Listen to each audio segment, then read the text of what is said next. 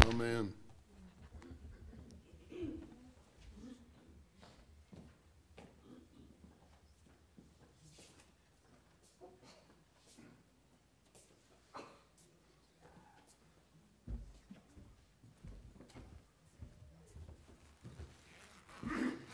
Do you remember me? if everybody wouldn't mind standing up, I remember it this time.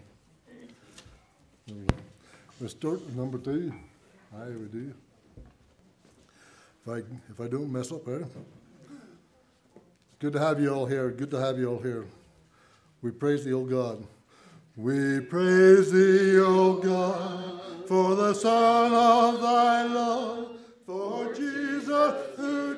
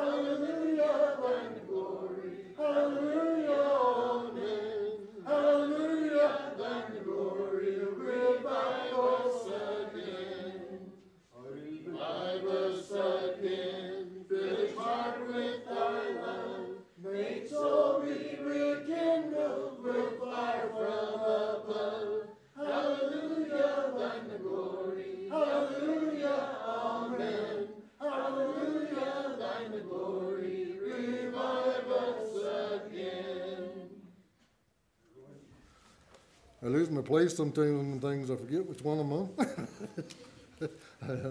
That's the way it is. I 794, 794. Unto thee, O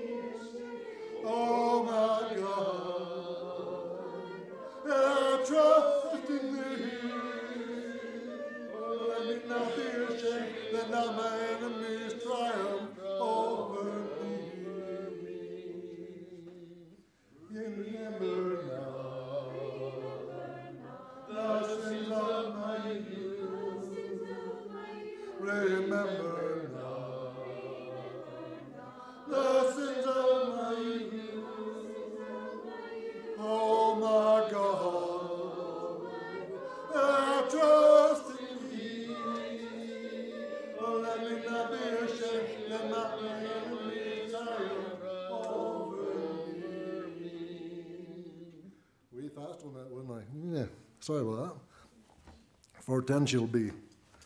You guys turn a little faster than I do. So. Hi, 410. We. He leadeth me.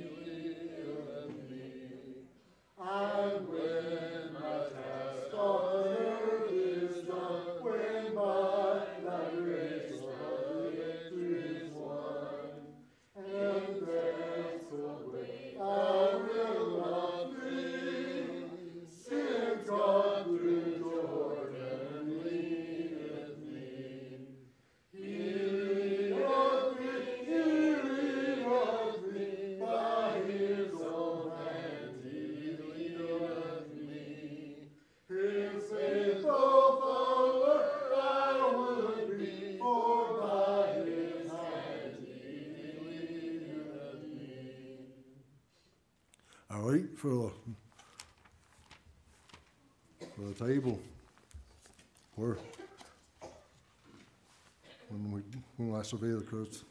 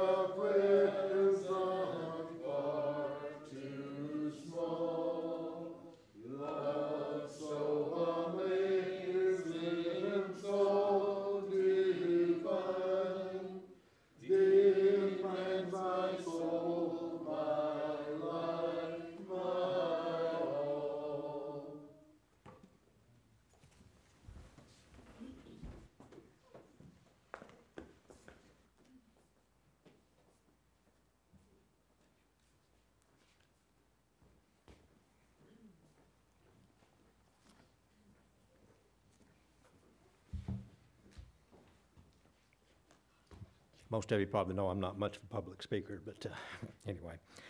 Uh, If you're anything like me, you need a reminder every once in a while. And so this morning I was, I drafted Dennis and Cardell here to help me up here. And so I kind of thinking, okay, what am I going to say? What am I going to say? And I'm sitting there while Craig was reading something and trying to think, what am I going to say? What am I going to say? And Larry comes walking through with the preparations for the communion. I'm thinking, hmm, I should have remembered that. but thanks, Larry. So uh, this might sound kind of like a broken record because I read this pretty often, but it, it's a reminder to me, and I'm hoping it'll be a reminder for all of us. It's out of Luke. And it says, When the hour came, Jesus and his apostles reclined at the table, and he said to them, I have eagerly desired to eat this Passover with you before I suffer. For I tell you, I will not eat it again until it finds fulfillment in the kingdom of God. After taking the cup, he gave thanks and said, Take this and divide it among you, for I tell you, I will not drink again of the fruit of the vine until the kingdom of God comes. And he took bread, gave thanks, and broke it, and gave it to them, saying, This is my body given for you. Do this in remembrance of me. In the same way, after the supper, he took the cup, saying, This cup is the new covenant in my blood, which is poured out for you. But the hand of him who is going to betray me is with, is with mine on the table, and the Son of Man will go as it is decreed. But woe to the man who betrays me. I will remember this, please. Dear Lord, we thank you for what you did the day after that night you first broke that Passover bread with a new meaning for us, that it represents your body which would be broken the next day. Lord, we thank you for having so much concern for us that you would leave us things we could do to help remember things along the way. We thank you, Lord, that your Son paid that heavy, heavy price for the salvation of us sinful people. Lord, we know He did that while we weren't even born or we were yet in our sins. Lord, help us to be, at the very least, thoughtful of it and appreciative. In His name, amen.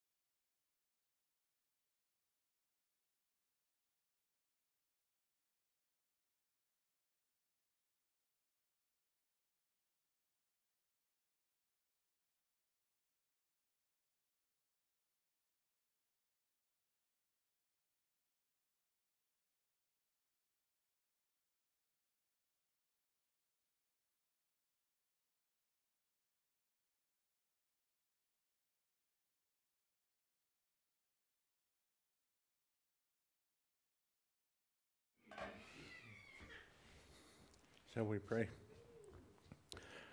Holy Father in heaven, we thank you so much for this time that we have to come together and reflect on your Son and the tremendous sacrifice he made on our behalf. We ask that you be with us as we take this fruit of the vine, which to us is his blood shed for us.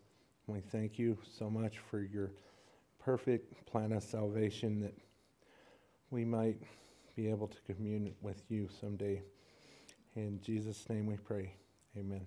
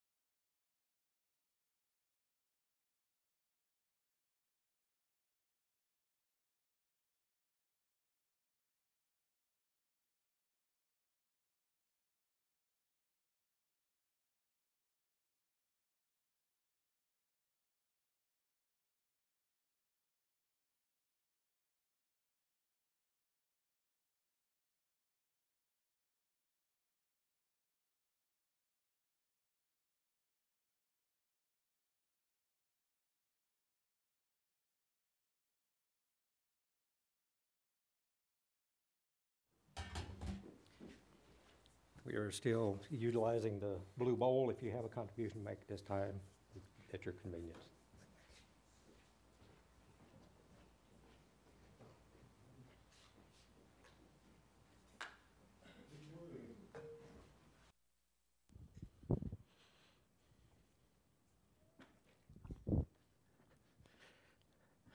I always want to make sure everybody's got their Bible for the sermon. Good morning, everybody.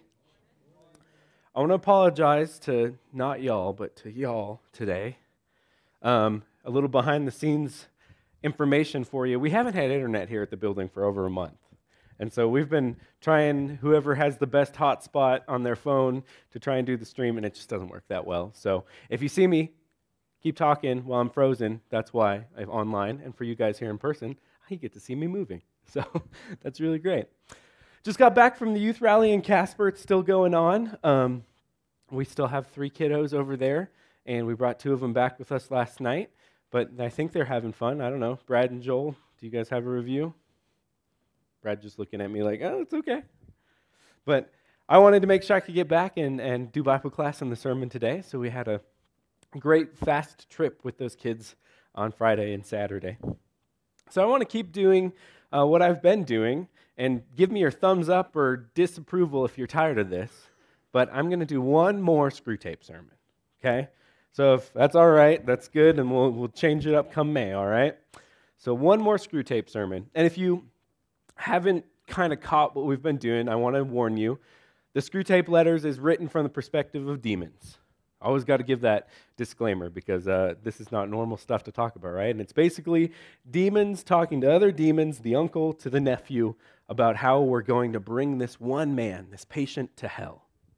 And so it's some pretty deep stuff. And I've, what I've been doing is reading a letter, one of these letters from the Screwtape letters, and then preaching some scripture that goes along with that.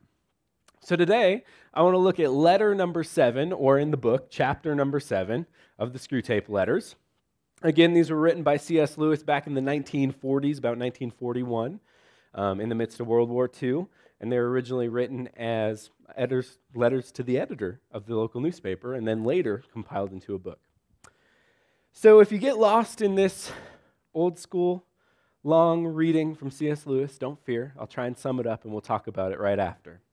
So, letter 7 or chapter 7 from the book. Remember, Wormwood is the apprentice demon and Screwtape is the master. All right? Chapter 7. My dear Wormwood, I wonder that you should ask me whether it's essential to keep this patient in ignorance of his own existence. That question, at least for this present phase of the struggle, has been answered for us by the High Command. Hmm. Our policy for the moment is to conceal ourselves. Of course, we haven't always been told to do so, and we really face a cruel dilemma. When the humans disbelieve in our existence, we lose all of our pleasing results of the direct terrorism, and we can make no magicians. On the other hand, when they do believe in us, we cannot make them materialists and skeptics, at least not yet. I have great hopes that we shall learn in due time how to emotionalize and mythologize their science to an extent that is, in effect, belief in us, though it won't be called that name. We will creep in with the human mind as it remains closed to the belief of the enemy. The life force, the worship of sex, and some aspects of psychoanalysis, maybe they will prove to be useful. If once we can produce our perfect work of the materialist magician, this man, not using but worshiping what he calls forces while denying the existence of spirits, then the end of our war might be in sight. But in the meantime, we must obey our orders. I don't think you'll have much difficulty keeping your patient in the dark. The fact that devils are predominantly comic figures in the modern imagination will help you. If any faint suspicion of your existence begins to arise in the patient's mind, suggest to him a picture of something in red tights and persuade him that since he cannot believe in that, it's an old textbook method of confusing them, he cannot believe in you. I had not forgotten my promise to consider whether we should make your patient an extreme patriot or an extreme pacifist. All extremes, except extreme devotion to the enemy, are to be encouraged. Not always, of course, but at this period. Some ages are lukewarm and complacent, and then our business is to soothe them faster to sleep. Other ages, of which is the present one, are unbalanced and prone to factions. It is our business to inflame them.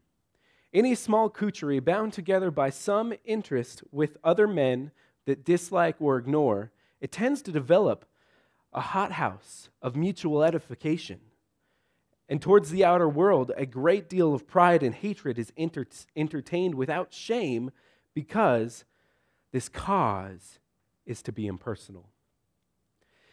Even when the little group exists originally for the enemy's own purposes, this still remains true. We want the church to be small. Sorry, guys. Not only that fewer men may know the enemy, but also that those who do may acquire the uneasy intensity and defensive self righteousness that comes with any small clique. The church herself is, of course, heavily defended, and we've never been able to quite succeed in giving her all the characteristics of a faction. But subordinate factions within her have often produced admirable results. For the parties of Paul and Apollos in Corinth, down to the high and low parties in the church. If your patient can be induced to become some sort of conscientious objector, he will automatically find himself one of the small, vocal, organized, unpopular society and the effects of this on one so new to Christianity will be oh so good. But almost with certainty, he has had serious doubts about the lawfulness serving in this war before the present war even began. Is he a man of great physical courage, so great that he will have no half conscious misgivings about the real motives of pacifism? Can he, when nearly nearest to honesty, no human's very near. Feel fully convinced that he's actually wholly desired by the enemy to obey him. If he is that sort of man, his pacifism will probably not do us much good. And the enemy will probably protect him from the unusual consequences of belonging to a sect. Your best plan in this case would be to attempt a sudden, confused, emotional crisis from which he may not emerge, but he will be easily a convert to patriotism. Such things can often be managed. But if he is this man, I take him to be, try pacifism. Whatever he adopts, your main task will be the same. Let him begin by treating the patriotism or the pacifism as part of his religion. Then let him, under the influence of a partisan spirit, come to regard it as the most important part of his religion. Then quietly and gradually nurse him onto the stage at which religion becomes merely a part of the cause, in which Christianity is valued chiefly for the arguments that can be made for his pacifism or patriotism. The attitude which you want to guard against is one that is treated as obedience. Once you've made it to the, to the world at end and faith uh, as a means, you, you have almost won your man. It makes very little difference what kind of worldly end he's pursuing. Provided that meetings, pamphlets, policies, movements, causes, crusades, they matter more to him than prayers and sacraments or charity. He is ours. And the more religious on those terms, the more secretly ours, the more securely ours. I could show you a pretty big cage full of them down here. Your affectionate Uncle Screwtape. Again, quite a big chapter, but I didn't want to skip anything. So I want to call this one today, Screwtape Sermons, Hidden Idols. Hidden Idols. And from the very beginning of this letter that I started reading, Screwtape, the senior demon, He's talking to his apprentice, his nephew, and he says, We need to remain as demons in the shadows. He says, That's our rules right now from up above or down below, however you might want to say that. But he says, we need to stay invisible in the shadows. And he talks about how it's challenging for them to do so, and how there's negatives and pluses to being very obvious as devils, or negatives and pluses for being hidden as devils. But he goes on and he continues that they must work for the dark side in the shadows. So, the very first thing we saw in this chapter is we need to stay in the shadows. But then he goes on and he says kind of something that's like shifting gears for us when we read this. He says, I haven't forgotten that you asked me earlier whether we should make this patient a pacifist or a patriot. Now remember, this is the middle of World War II. Things are really starting to get going now, right? And so, if you were to pick any two things that were probably the hottest topics of the time, it would be these two parallel ideas patriotism and pacifism, right? And so, he says, which one should we make him? Which one's a good tool to ultimately bring this patient to hell? Well, that's a good question. If you don't know what, what the ideas of patriotism and pacifism are, let me go ahead and tell you here. Pacifism is that basically you believe that there is nothing that can justify violence. There is nothing that will justify war or violence in any circumstance. You must always be at peace. Then you have the complete polar opposite of that, right? Patriotism. What does patriotism mean? Well, it means the idea of no matter what the circumstance, no matter what war or what thing I have to do, I am going to stand strong and fight for my country. No matter what. So there's the idea of there's nothing I will do, peace must be always there, or there's nothing I won't do because my country. So basically, what he's asking is, what should I do to bring my human to hell? Which one's more effective? Did you catch what Screwtape goes on to say? They discuss about it for a while, and he says these are our two key points, our two main topics. I mean, it's the middle of World War II. But what he says is it doesn't matter which one he focuses on. Extreme devotion to either or will bring him to our side. Either of these ideas and extremes will turn into a focus that draws away devotion from God. They even bring up the idea of the early church, the scripture we started with this morning. The early church in Corinth had such an extreme about do we worship Paul or do we worship Apollos that they forgot that they worship God. They forgot what this whole church was about. And that's exactly what Screwtape is saying. He's saying us demons need to take that same thing. What am I so passionate about that I forget that I'm worshiping God? That's exactly what they're trying to do. But remember, this is what Satan's working at in our lives to this day. Didn't just happen for the church in Corinth, and it didn't just happen in World War II. I think this still happens today. Because what I think Screwtape is talking about here is not Paul or Apollos or pacifism or patriotism, but it's idols. And it's hidden idols because they're remaining in the shadows. So if I had to sum up chapter 7, letter 7, it's talking about idols. So if the idols existed for the church in Corinth and for World War II, can I say boldly today that we still have to face idols? I think we can. I think, I think it's a struggle we all have to face. And on our faith journey, sometimes we will run into those idols trying to creep back in, trying to stand strong when we're trying to follow God. Satan's got a good hold on them. He uses the things of this world, right? And he wants to drag us to hell. He wants to bring us there. So maybe you have some idols in your life. Maybe yours is uh, pat- uh, patriotism and pacifism. I don't know. Maybe you've picked one that you really want to stand strong on. Maybe it's not that easy. Maybe you're not just like the book. Maybe you have some other things that are idols that'll hold you back. As Christians, I think we do. We struggle with maybe political affiliations. That's what this one was, right?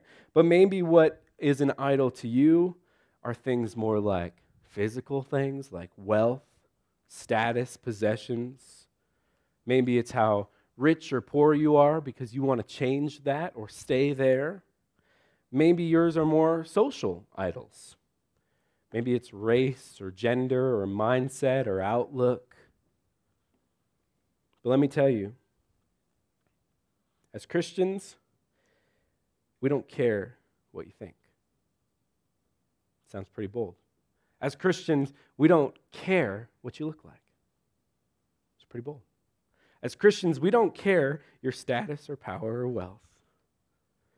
Because as Christians, we should only really care about telling everyone from every place and status that God loves them. That He sent His Son because He loved them to die on the cross so that He can love them forever in heaven instead of crying when they go to hell. So, as Christians, we really don't care about all of those things. We really shouldn't care about anything except for a human that is loved by God. We want to share the gospel with them. That's the gospel summed up in like two minutes, right? We want to love them because God loved them, and we want to share the gospel with them. But man, we can still get caught up in these idols. Even when I said as Christians, we don't care, sometimes we do. Sometimes we accidentally start caring because Satan's working on an idol, right? And unf- unfortunately, we're still stuck on him to this day sometimes. In the Old Testament, God reminded us, his people, and in us today, over and over again, that we should not be having idols.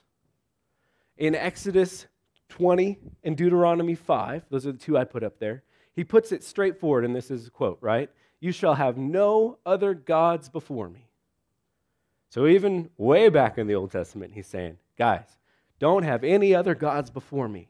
Reminding them all throughout the Old Testament. Exodus 20, don't build anything or make anything that will become a God. Man, did they struggle with that over and over again, didn't they? Don't build anything. Worship me and not this stuff. Exodus 23. Don't even talk about other gods like they're gods. Don't give them that credit because I am the only God you got to worry about. All the others are just nothing. But sadly, Satan's been using idols or other gods since there was man to worship any other gods. Unfortunately, it's true. And we can place anything above God if we're not careful. We can place it in our minds and our hearts right there on that top shelf. So easily to do. Satan tricks us so, so easily. But remember, God is jealous. You ever heard anybody say that before and you wonder what that means? You're like, God is a jealous God. What does that mean? Well, I can tell you one way it means. He's jealous in the fact that there is nothing on that top shelf other than Him. And if there is, He's not happy about it. He's jealous about it because He knows He wants to rule over your life. He wants to be the number one slot. He created the universe, He created our lives. Of course, He deserves the top shelf. Isaiah chapter 44. I picked a few verses here, 6 through 11, so we get a little bit of context. So it'll be on two slides, okay? Isaiah 44, starting in verse 6. Thus says the Lord, the King of Israel and his Redeemer, the Lord of hosts I am the first and I am the last. Besides me, there is no God. Who is like me? Let him proclaim it. Let him declare it and set it before me, since I appointed an ancient people. Let them declare what is to come and what will happen. Fear not, nor be afraid. Have I not told you from the old and declared it? And you are my witnesses. Is there a God besides me? There is no rock. I know not any. All who fashion idols are nothing and the things they delight in do not profit. Their witnesses neither see nor know that they may be put to shame. Who fashions a god or casts an idol that is profitable for nothing? Behold, all his companions shall be put to shame, and the craftsmen, well, they're only human. Let them all assemble, let them stand forth. They shall be terrified, and they shall be put to shame together. There's a few key things that God is saying here in these scriptures. Right away, he says a bunch of ways to say, I am God over all. Right? He says, I am the Lord, I'm the King of Israel, I am the Lord of hosts, I am the first and the last. Besides me, there is no God. He reminds his people again hey, I'm the God that created everything. I'm the God of the universe and all the people and all the oxygen and all the animals and all the plants. There's nobody else that created all this. That's me. I am the first and the last, and besides me, there is no other God. So who can try and be like me? He goes talking about it in the prophet Isaiah. Who can even be like me? Oh, you're humans who make idols? Well, those idols are pointless. That's basically what God goes on to say. Those idols do not stand a chance because they're made by human hands who are not God. I just described, I'm the only one. So, what good is this thing made by a human who's not God? Well, it's empty. That's what we talked about in this last half. So, we might be reading this and talking about idols and say, you know what? We're pretty good on that. We believe that there is one God and He is the God of the whole universe. There is no other God. But we don't build any idols. I mean, thank goodness we don't have any good blacksmiths in here that are living on that, right? We don't build any idols. We don't have to worry about it. Well, are we really okay? Are we good? Are we clear of idols just because we don't build any little golden calves? Unfortunately, not. Unfortunately, not. Because when God said idols, He didn't just mean the physical metal things, He meant that same point anything that we focus on that's not Him. Anything, again, the same analogy, goes above Him on that top shelf. That would be an idol that's above Him. So if we focus on something greater than Him more often than Him, that's taking the idol place. And that's exactly what the demons were trying to provoke in their patient. In the Screwtape Letters, chapter 7, they said, It doesn't matter that it's not a physical golden calf. What do we have in our culture right now? Oh, it's the World War II. All right, we've got two trains of thoughts on the war. Whichever one we want to pick, we'll use that and make it an idol. It's going to work if they do it right. And so for us today, whatever's in our culture, whatever's in our lives, ah, scaringly enough, Satan can use it and make it an idol. I think that's really true. But we shouldn't let that happen because it's a strong tactic of Satan and he's trying so, so hard. As Christians, we should be changed. I mean, Paul said it, we are new creations. 2 Corinthians 5, verse 17. Said this one a lot. This is one of my favorite verses. Therefore, if anyone's in Christ, he is a new creation. The old has passed away. Behold, the new has come. So, if we're a new creation and the old creation used to worship things of this world, whatever you wanted to pick was the top thing in your life, well, if we're made new, the old has passed away, and now the new has God on top. That's what we're supposed to be doing. So we have a new creation and a new purpose and a new life because of that. Back in January, we talked about the newness, and one of them was new creation, one of them was new life. So, what does it look like to have a new life and live as new creations? Well, I would say the easiest way to describe it is right out of Scripture. It looks like living as light in a dark world. Lights in the darkness. Ephesians 5 8 through 11.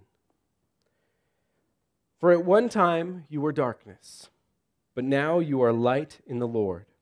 Walk as children of light. For the fruit of the light is found in all that is good and right and true. And try to discern what is pleasing to the Lord. Take, take no part in the unfruitful works of darkness, but instead expose them. So we live as a new life or a new light. We used to be darkness. That's what started right there in verse 8. For at one time you were darkness, but now we're changed. Now we're the light of the Lord. And what does it look like to walk as the children of the light? Well, we find what is good and right and true. And then what do we do in the inverse of that? Well, we try and discern what is pleasing to the Lord and take no part in the unfruitful works of darkness. Do you think I could classify idols as unfruitful works of darkness? Seems like how Screwtape and uh, Wormwood are trying to use them in C.S. Lewis's book. Just unfruitful works of darkness that will be fruitful for them. So they're trying to use pacifism, patriotism, idols. So we should not be partaking in that, but rather discerning and saying, get out of here. Get out of here, unfruitful things, right? One of the greatest things we can do is continue to live that life that displays our loyalty, that displays we're new creations, walk in the light, show that we're Christians, report to God over and over, kind of like we were talking about in Bible class, that we are still working and living for Him, living as lights. 1 Thessalonians 1 9. They themselves report concerning us the kind of reception we had among you, and how you turned from God or you turn to God from idols to serve the living and true God and to wait for his Son from heaven, who he raised from the dead, Jesus who delivers us from the wrath to come. What's Paul write in the Thessalonian church? He says, I've heard about it. You church people in Thessalonia, you're living different. I've heard.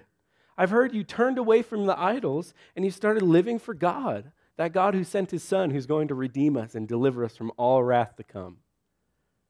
Basically, he said, I heard you guys are living in the light for Jesus. Thank you for getting out of the darkness and exposing the idols. This is the letter I want written about us as a church. This is the letter I want written about me as a Christian. Paul writes some really mean things sometimes to the churches, right? Corinth, get your act together, right? But this is the one, two verses that I want written about me because I lived it. Because I lived turned away from idols, walking in the light. These Christians were identified as that, as the ones that turned away from their idols and lived for God. And we should do the same. I think the biggest part of talking about idols for us modern Christians is just acknowledging that they still exist even though we do not have a golden calf on the wall or a golden Buddha over here. We still have idols. So we need to acknowledge and recognize that they still exist. And don't let Satan deceive us and tell us, oh, it's all good. He's hiding the idols on purpose. Because if they were in plain sight, remember, like he's telling his nephew, well, then we'd know. Then the tactic would have to be different, because then we'd have to admit we're worshiping the idol. But they're hidden. They're hidden. So think about what might be in your life for idols. Just because it's not a golden calf doesn't mean it's not there. Maybe he's working exactly like he was working on the patient in the Screwtape letters. Fictional, but maybe it's actually true for you. Maybe some of the idols that Satan is trying to place into your life is patriotism or pacifism. Maybe they have come into your life so much so that you think they're a part of your religion a part of your relationship with God. Let me tell you what whichever camp you stand on on that one idol doesn't matter because that's not what we're here for. We're here about the gospel and God's love. I bet for some of us, though, we deal with other ones. It's not those two specific ones exactly. I bet we do deal with some of these other hidden idols that really can take over our lives. It's hard. And just trying it to identify them is hard. But when we do identify them, how do we push them out of our lives? Well, we refocus. Because that's all it is, is a focus trial, right? We, we can still have things that we care about. We just can't care about them more than God. We just can't place them on a higher stool or a higher shelf than God because that's exactly what Satan wants us to do. Instead of saying, I am a Christian with a faith in God, and this is something else about me, he wants me to say, this is something about me, and something else is I'm a Christian. Put it in the right order and fight those idols actively. That's the way we do it. That's the way we do it. Don't let Satan use any hidden idols, whether it be little things that are physical. This is the one I picked. Don't let an idol be the carpet in the church building, because we don't have any. Also, don't let the idols be politics. Don't let the idols be anything. I say the funny things like carpet in the church building, but do you know we can actually do that? Do you know we can care more about stupid physical things and relationship things and politics things than we do about God? It's okay to care about Him. Just make sure the love of God is stronger than anything else. Thank you, guys.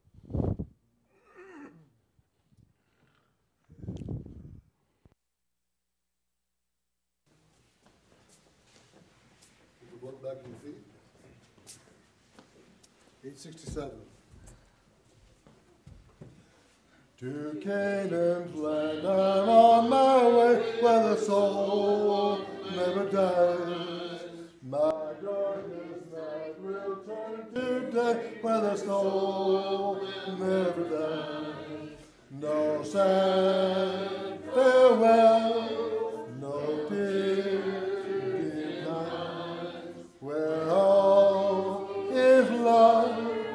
and the soul never dies. A rose is blooming there for me, where the soul never dies. And I will spend eternity where the soul never dies. No sad farewell,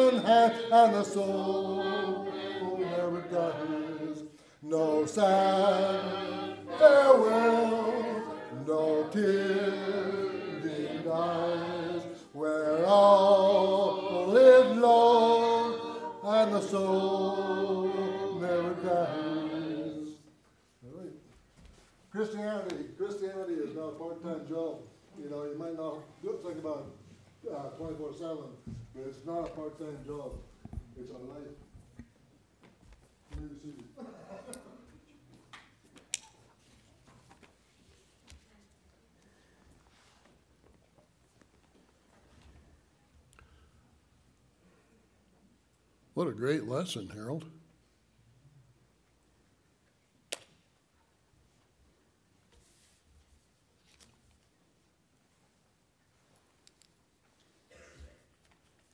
What a great theme and something to certainly consider and think about. And while I was sitting there listening, I thought, hidden idols in plain view. They are obvious if you look at them. So they're hidden, but they're in plain view for us all to see. Okay, do we have any joys or praises we'd like to mention this morning? Pat?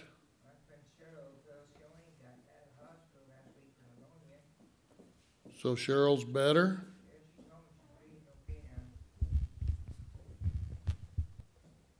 We're glad to hear that.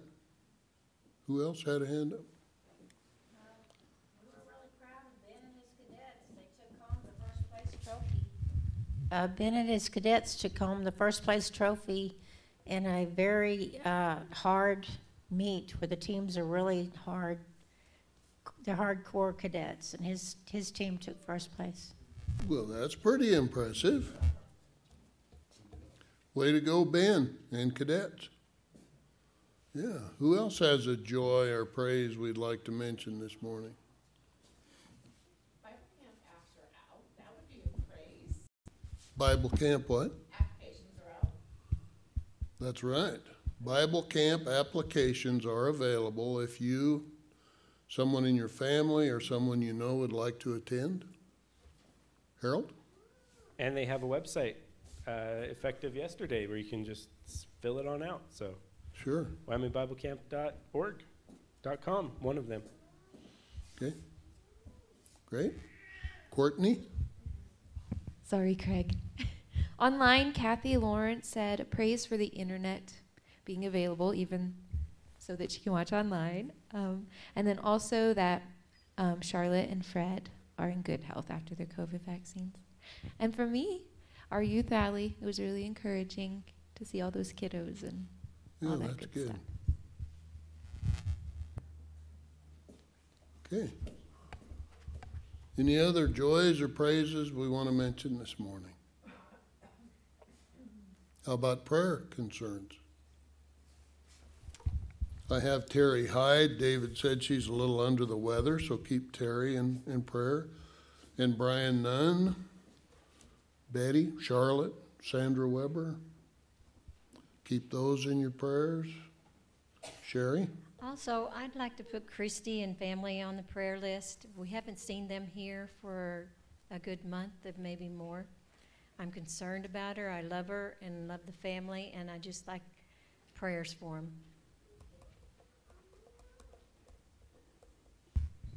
Christy, and family. Okay? Thank you. Um, Karen, over here.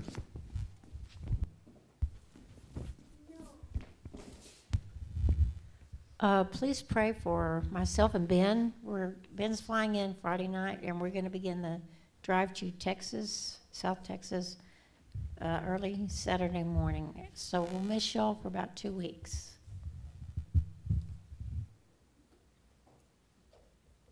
Okay?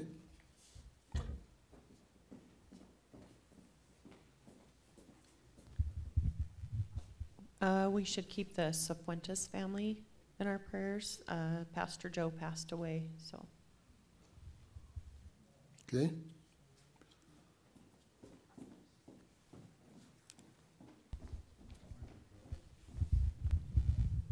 Um, Brian's brother and his wife are going to be flying here this evening. His name's Lane. Just keep them in your prayers for safe travels.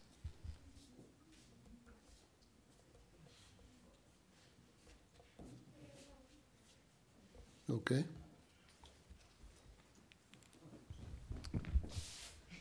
Courtney? Online, um, Kathy Lawrence would like prayers for baby Destin. He's fighting his first cold, and it has gone to bronchitis and an ear infection. So prayers for Tosh as she is nursing Destin and the rest of her family back to health. Okay? And then I also um, uh, prayers for my grandma. They found out that she had um, breast cancer, and we're waiting on the doctors to get her in for a lumpectomy. So hurry up, doctors. and then also just to follow up on my friend from Lander, who goes to church in Lander, her brother-in-law. Um, it's been up and down, but last time I talked to her, he was on and up. So prayers that it just keeps on going. And that was a friend's brother-in-law? Okay?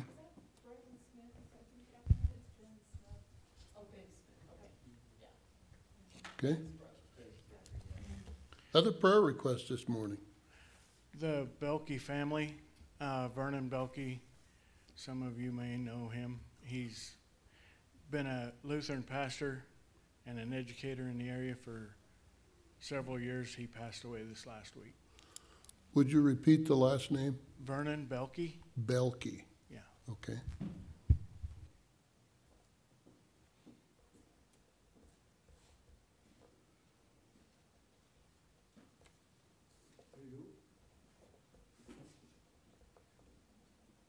Okay, Sherry? I wanted to um, ask for prayers for um, the explosion that happened in Shoshone. One of the people that was killed was the father of one of the boys I work with at school. Oh, boy. And so it was, it's a really, really rough situation. Last name is Mitchell.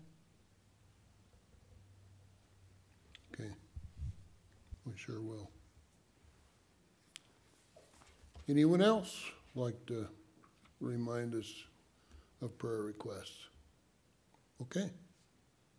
It's good to see everyone this morning. Let's go to the Lord in prayer. Almighty God, we thank you, Father, for being the awesome God that you are. We thank you, Father, for giving us your word to follow. And in your word, Father, it clearly tells us in so many places that you are the one true God, and nothing, absolutely nothing in our life should take your place to draw our attention and our needs and our excitement than you, Father. We thank you so much for being the loving God that you are, for providing all that we need. And Father, oftentimes we forget that all that we need does come directly from you. And we thank you for that.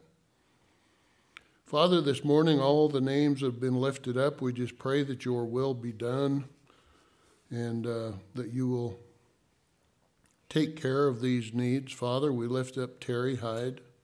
Pray that you would help her to feel better for Betty and Charlotte and Sandra and Brian. Uh, Father, we, we're glad to hear that Cheryl is doing better and that she's back home. Father, we lift up uh, Christy Bennett and the kids, and we just pray, Father, that they're doing well and know that we miss them and, and hope to see them again soon.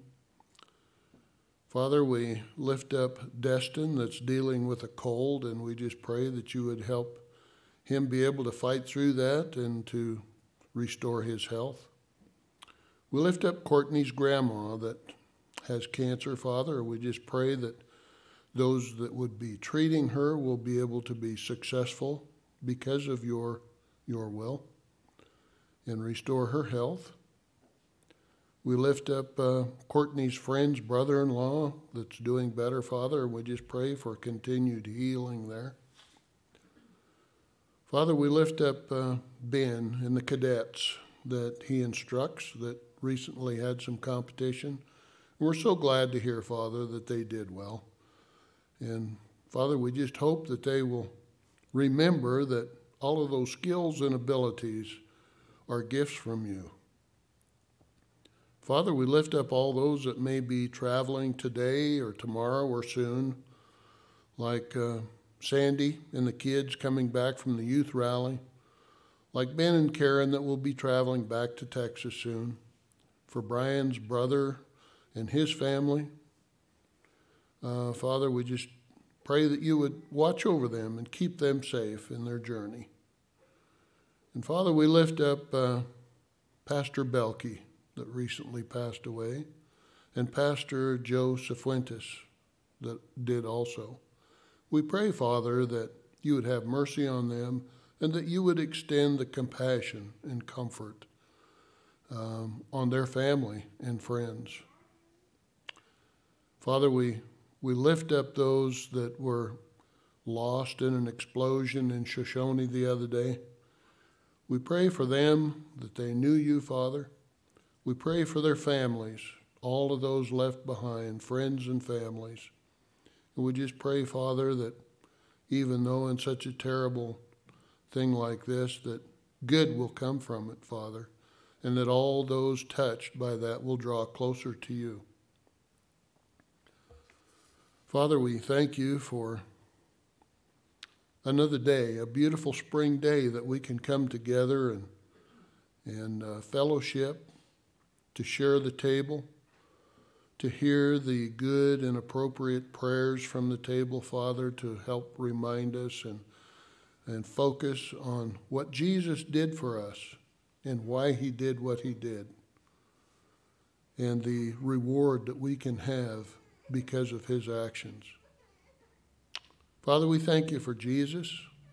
We thank you for the good news, and we pray, Father, that we can leave this morning being, being a light wherever we go, and that we too can spread the good news.